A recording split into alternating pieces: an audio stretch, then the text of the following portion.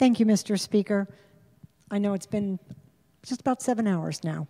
Um, I have no questions for the proponent, just a quick um, comment. I rise as a founding member of the Milford Prevention Council, which advocates very much for um, prevention of substance abuse. But more importantly, I rise as a mom, a mom of a 25 year old and a 22 year old. And before you push your buttons tonight, I know some of you have made up your mind, but I just want to challenge my colleagues in this chamber to read a book called Sunny's Story. The author is the CEO and founder of the Courage to Speak Foundation. It's a nonprofit founded after her son died of a drug overdose.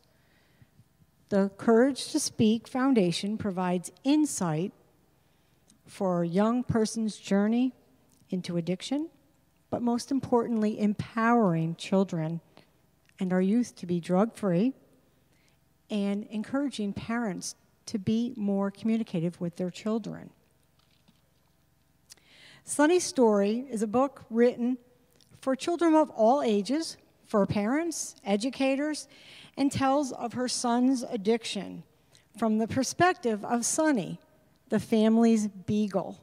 Our furry little friend was very close to this young man. This young man was just 20 years old when he passed away. Sorry. It started for him with a cigarette, a sip of beer, and marijuana to his death from an overdose of heroin a mixture of heroin and Valium. As I said, he was just 20 years old. The night before he died, he said to his mom, Mom, I want to see a doctor. I can't do this anymore. He said, I need to take care of the problem. So they made an appointment to see the doctor the next day. Sadly, when his mom checked in him in the morning, he was dead. I just tell this story and I just ask my um, colleagues to just think about it before we push this button. Think about it as a parent. I know before I make my decision, I certainly will be thinking about this as a parent. Thank you, Mr. Speaker. Thank you, Madam. I do apologize.